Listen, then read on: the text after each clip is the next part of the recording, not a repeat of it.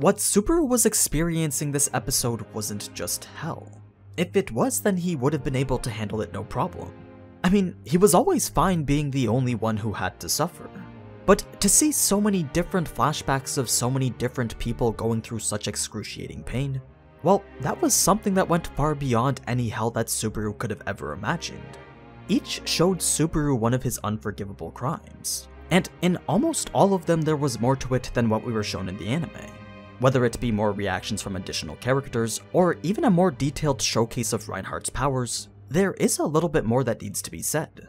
So let's take a look at what we missed out from those as well as the additional stuff left out from the Witch's Tea Party. Let's begin.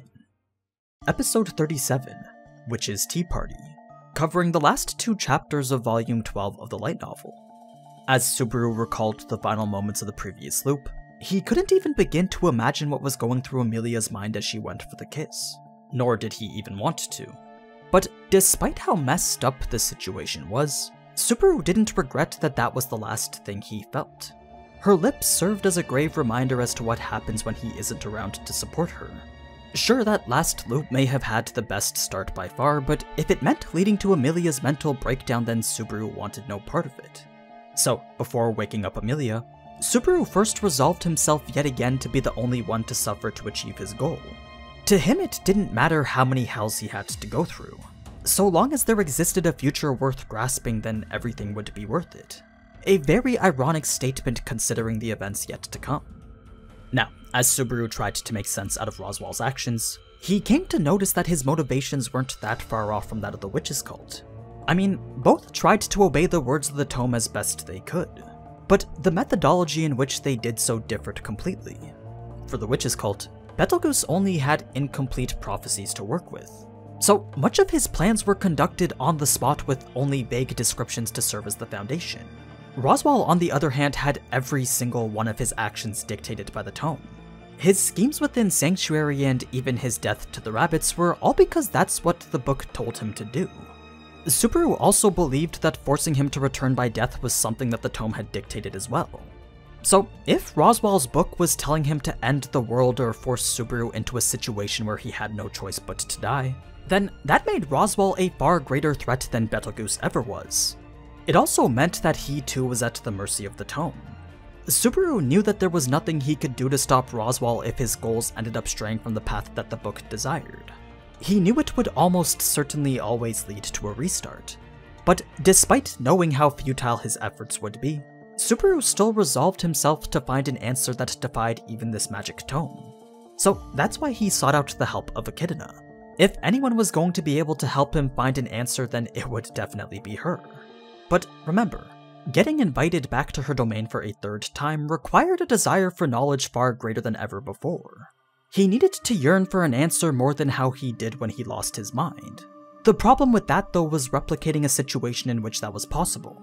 To imitate a madness that stemmed from having his flesh being eaten away wasn't something very easily doable. It was much easier just to drop him right into the second trial. But as we'll find out later, this wasn't something that Echidna had planned for. Bringing us now to Subaru's unknowable present. To give more context as to what exactly this was, Subaru's consciousness had essentially been removed from his body. He was put into a state of confusion similar to when his mind shifts from present back to past. But this time the only thing that remained of himself was his consciousness alone. At first, the experience of being this non-material existence brought with it a feeling of fear. I mean, suddenly having no arms, legs, or body really took the concept of phantom limbs to a whole new level.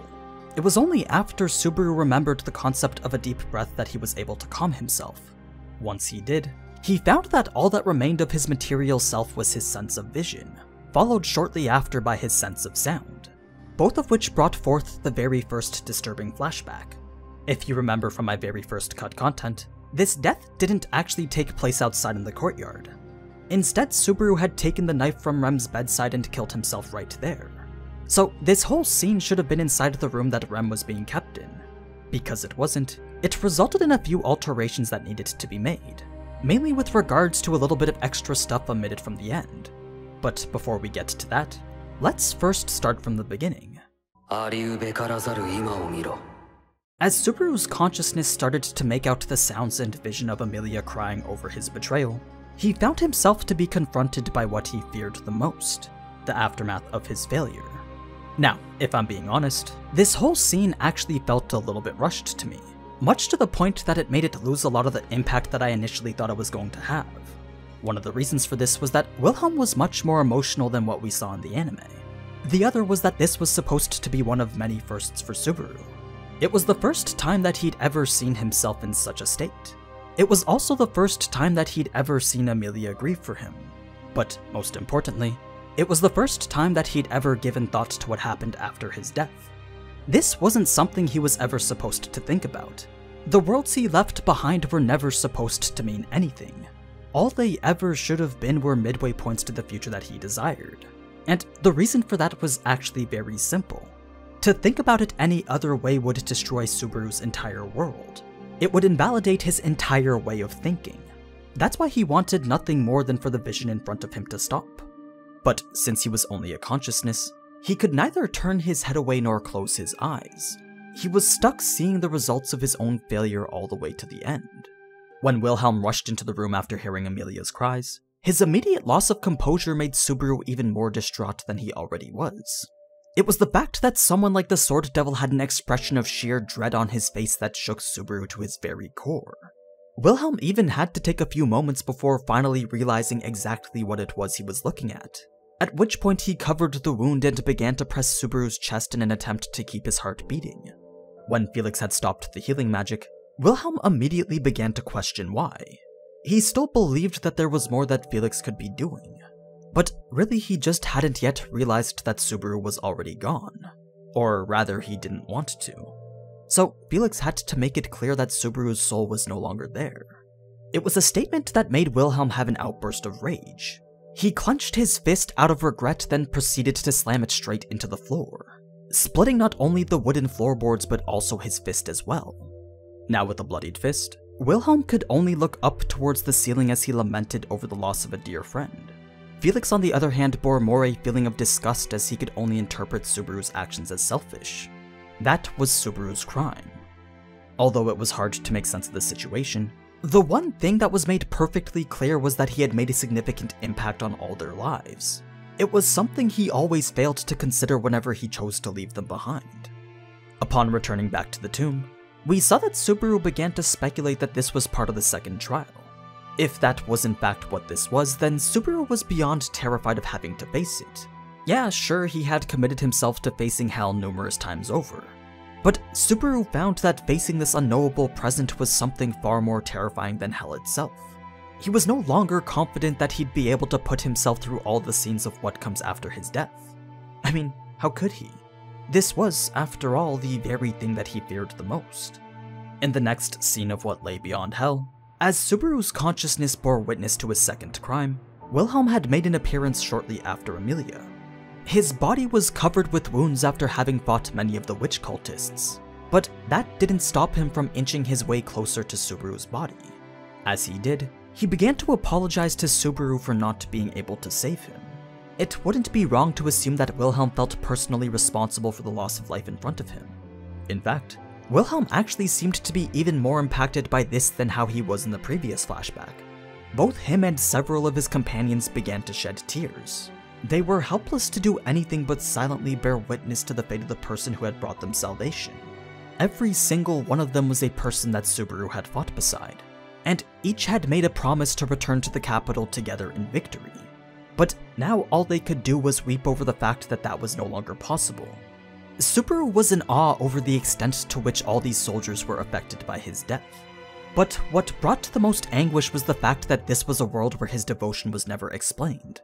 Emilia would never be able to find out why Subaru had done so much to help her. It was a world in which his own weakness led to all sorts of things being left unfinished. That was his crime. When Subaru returned back to the tomb, his attempts to evade reality led him to roll around in a panic. He didn't want to have to face the crimes that birthed from his own weakness anymore. So he crashed himself into the sides of the tomb all while his head scraped the ground and began to bleed. It wasn't the pain of the impact that made tears start to flow down his face, though. It was instead the idea that there were worlds that continued after his death. The very idea of this even being a possibility was enough to shatter the foundation with which Subaru had used to fight. up until now, he'd always thought that it was him being left behind by everyone else. But now he was starting to think that maybe it was actually everyone else being left behind by him. Subaru wasn't so sure anymore. After the flashback with Ram and Beatrice, we then get to a lengthier one with Reinhard, one that I'm sure that many of you weren't expecting. But in it was quite a bit of important information. Stuff that gives more context to Puck's potential involvement with everything. So, starting from the beginning, the massive forest that once surrounded the Roswaal mansion was now nothing more than soil. Puck had completely leveled the entire area. Not just with his massive body, but also with raging winds that were now strong enough to knock over entire trees. When Reinhard made his appearance, there were a couple of interesting things to note from the lines that ended up being emitted from the anime. Before talking about Emilia, Puck first spoke of how he knew that this would be the outcome. He went to imply that this was something he already knew was going to happen, which already is pretty intriguing all on its own. But then Puck goes on to say something even more revealing. Something that I think the anime decided to leave out on purpose and save for later. So if you don't want to know what it is, then feel free to skip ahead to the following timestamp. Anyway, what Puck says is that he also knew that Reinhard would come and try to stop him, followed by the statement that Emilia could not be saved unless he froze the world. Which, if I had to guess, was pretty much Puck's way of saying that he needed to force Subaru to return by death. It's the only thing that makes sense out of his statement regarding this being the only way to save Emilia. In any case, Puck's actions was something that Reinhard simply couldn't forgive. They didn't fall in line with his standards of justice, and justice was the single thing that Reinhard stood for. So he was left with no choice but to pull out his dragon sword, a legendary weapon left behind by the divine dragon from over 400 years ago. It was a sword that existed only to right that which was wrong. Now, because Reinhard already knew how the battle would end, he made a promise that if Puck didn't move then he wouldn't make him suffer. He was absolutely confident that he wouldn't lose this battle. So, out of pure courtesy, Reinhard offered Puck a painless death. But that was a deal that Puck couldn't accept. It was for the sake of his vow that Puck felt he had to use every bit of life he had left to fulfill his goal. If he was to just roll over and die, then that would be the same thing as turning his back on his contract. So Puck's only option was to fight till the bitter end, an end that was immediately met by a single slash of the Dragon Blade. As mana circled all around Reinhard's attack, not only did the slash work to slay the Great Spirit in front of him, but it also reverted the area around him back to its original state. The snow that once blocked out the air was now gone. The ground that had only recently been flattened had now begun to sprout up flowers. The way Subaru saw it, Reinhard's single attack had both ended the world and simultaneously brought about its recreation. It was as if no battle had even taken place. Not a single trace of Puck or his destruction was left to be found. The last thing that Subaru heard as this scene came to an end was that Lady Felt would surely be sad. It was a final whisper before Subaru went on to behold eight more unknowable presents. By the end, he could no longer tell if he was back in reality or still in those nightmares. Although that's what he wanted to refer to them as, he wasn't even sure if that would be correct. To call them a nightmare would be to assume that they weren't real.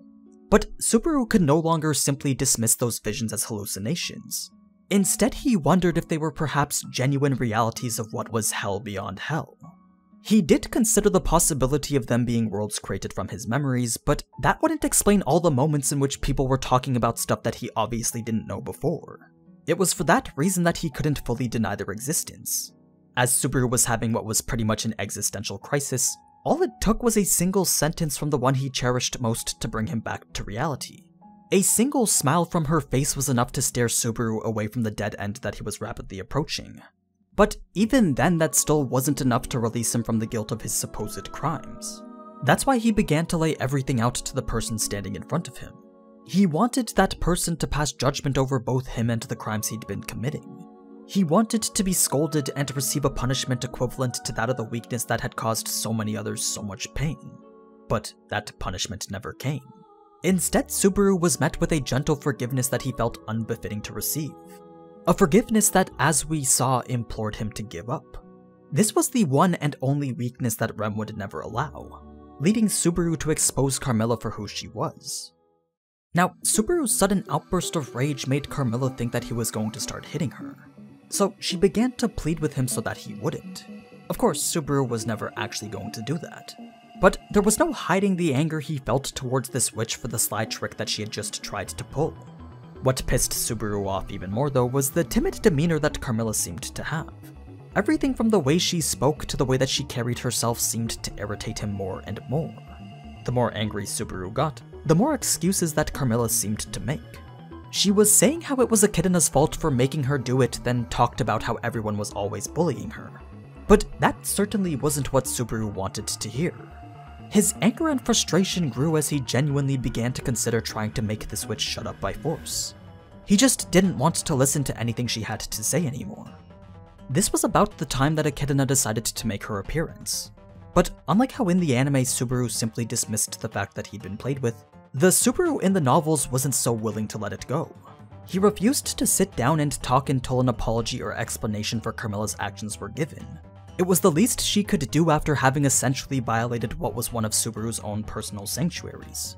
Despite knowing the importance of the conversation he wanted to have, Carmilla's actions simply weren't something that Subaru could forgive without an apology. So, if Echidna was in fact the person who put her up to it, then she was the one who needed to meet his demands. It was an ultimatum that Echidna didn't seem to take all too kindly. But she knew that they would get nowhere without her saying at least something. So, rather than apologize, she instead began to pin all the blame on Carmilla, stating that everything Carmilla did was out of her own desire to do so, going on about how Carmilla went ahead and used the trial as an excuse to play with Subaru's emotions. This was the answer that Subaru was hoping for. He didn't want to have to bear any resentment towards Echidna. But even though this was the answer that Echidna gave, it still wasn't the truth. She pretty much went on to undermine the entire thing right after saying it, asking Subaru if he was satisfied now that he'd heard the words that he wanted to hear. You see, she knew that he was already well aware of the truth. Subaru just didn't want to accept it. He didn't want to believe that Echidna would do something so cruel. It's not like Echidna didn't regret having to resort to such methods though. It just wasn't something she felt the need to apologize for. I mean, if she hadn't done what she did, then the trial that Subaru was accidentally thrown into would have worn him down to nothing. This was the conclusion that she came to after having watched Subaru go through countless iterations of trials she personally designed. It also brought forth a significant contradiction. Remember, Echidna herself once said that she never gets involved with the results of a trial. If someone was going to fail, then failure was one of the results that she wanted to know.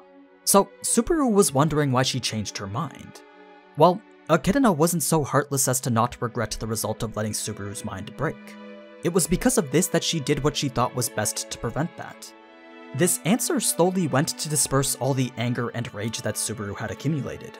There was no denying the fact that Echidna had just saved him. It's not like he was going to thank her for it, but he also wasn't going to hold a grudge against her either. Instead, the two just proceeded to have their tea party. Their initial conversation of the trial brought forth a bit more on Subaru's authority. Yes, the realities Subaru saw were nothing more than fictitious constructs, but Echidna couldn't confirm the principles under which Return by Death functioned. For all she knew, Subaru could very well have been shifting to parallel worlds after every death, perhaps even overwriting an existence of himself that was from a world where he was still alive. There simply wasn't any way to confirm or deny that branching planes of realities actually existed.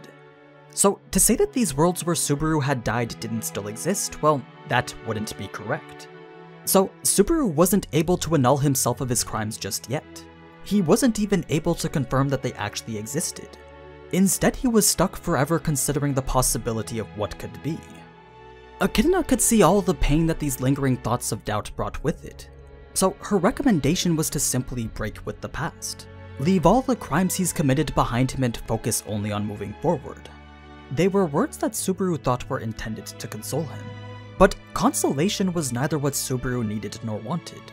He wasn't so shallow as to allow Echidna's words to make light of every sin he's ever committed. But even so, Echidna still continued to try to sway him, using her words to counter everything that Subaru would say. Subaru believed that no one could grant him forgiveness, but the Echidna that knows his past says that she can. Subaru felt that no one could judge his crimes for him, but the Echidna that bore witness to each and every single one of them says that she will. Subaru believed that no one could approve of him, but if Echidna couldn't approve of the Subaru that was right in front of her, then instead she would reject the Subaru that won't forgive himself. She was relentlessly bombarding Subaru with words that tried to get him to resist. She wanted Subaru to cast aside his regrets so that he could keep pushing forward, the reason for which only became clear after Echidna offered to make the pact. Now, for Minerva to interrupt a ceremony as sacred as the creation of a witch's pact, well, that was certainly no minor issue. Whatever scheme it was that Echidna was planning, it had gone to trigger Minerva's rage. So, with two witches now simultaneously appearing in front of Subaru, Echidna had no choice but to explain the true nature behind their coexistence. As we learned in the anime, substitution wasn't actually necessary, but there was a specific reason as to why she only let one witch out at a time. If Echidna's soul was to be left alone with the soul of any of the other witches, then that would put her own self in danger. There was always the risk that another witch would try to defeat her in an attempt to take control over her domain. Using Sekhmet as an example, she alone was powerful enough to defeat not only Echidna but also the four other witches combined. So, to allow her to be present at the same time as Echidna was a risk to her very existence. Or so she says. Echidna was speaking all these words as if giving Subaru the exact answer that he needed to hear. And Subaru was much too quick to accept these words without even giving them a second thought. So Minerva had no choice but to strike Subaru in the back of his head, giving him an impact that felt powerful enough to rip it straight off. Instead though, it revitalized his entire body and mind, allowing Subaru to fully comprehend what it was that she was trying to get him to see. Specifically the parts about how Echidna's pact wasn't all that good for him, you see, Minerva knew quite a bit about how Echidna tends to treat her pacts. As the witch who's interfered the most in history and made the most contact with humans, Echidna had numerous examples in which her pacts didn't end in happiness. So Minerva wanted to prevent Subaru from falling into that same situation. Now, there wasn't anything wrong with Echidna wanting to tag along with Subaru on his path to the future. Her initial explanation of the compensation actually had Subaru ready to dismiss Minerva's warning, but Carmilla's words went to add to that extra layer of doubt. The thing is, she wasn't interfering because she wanted to help out Subaru. Carmilla just wanted to get back at Echidna for having deceived her. She was the type of witch that found it absolutely unforgivable when people betray her trust. In fact, her words were spoken with so much disdain that if Subaru hadn't been looking at Carmilla's face, then he wouldn't have known that it was her that was talking. It was also clear from the look in her eyes that she now bore a significant hatred towards Echidna. A hatred that even Echidna began to regret as having become the outcome of her little play. In any case, Subaru wasn't just sitting there listening to these two bicker. He inserted himself back into the conversation to demand that Carmilla explain exactly what it was that Echidna was hiding. If she didn't, then how would he ever be able to understand? Before that could happen, Echidna tried to assure him that doubting her now would do him no good. But that's when yet another witch entered the picture to become the mediator. Unlike the other witches, Sekhmet wasn't there to give Subaru a warning. She was simply there to ensure that no one resorted to force to get their way. If they did, then Sekhmet said that she'd step in and kill them. That was the purpose of her existence. That being said, to maintain the prospect of fairness, she did give Subaru the clue that allowed him to understand the consequence of making a pact with Echidna. As the author himself summed it up, if Subaru had gone ahead and made the pact with Echidna, then she would have used his power to witness every route imaginable. She would make him go through every possibility first before finally pointing him to the optimal future that he desired. It was essentially the same thing as saying that she'd make Subaru die over 10,000 times, all for the purpose of gaining knowledge on any and everything that she possibly could. That was the essence of the lengthy speech that Echidna had given him. That being said, there's actually quite a bit more to it than what we were shown in the anime. I mean, it's quite literally a massive wall of text. No paragraphs, no new lines, just continuous sentences. It really is worth the read though. So I'll see if I can leave it in the comments or as an image in the description so that you can give it a read yourself. It'll make complete sense out of Echidna's true intentions. In any case, her words were all that it took for everything that existed between herself and Subaru to crumble into pieces. It was far too cruel a revelation to know that everything had been meticulously set up just so that it could lead to this moment right here. But the final nail in the coffin was the stuff about Beatrice. One thing that the anime didn't mention was that Beatrice's initial purpose wasn't to watch the archives. Echidna had created her with completely different intentions in mind, one that perhaps relates closer to Sanctuary than we may think. But yeah, that's pretty much everything you need to know about episode 37. So I hope you enjoyed learning a little bit more about the story. And if you did, then be sure to leave a like or comment. Also, feel free to subscribe so you can get the notification of when I post the episode for the finale. Anyway, as always, thank you so much for watching, and if you enjoyed this type of anime content, then you already know what to do. So, until next time,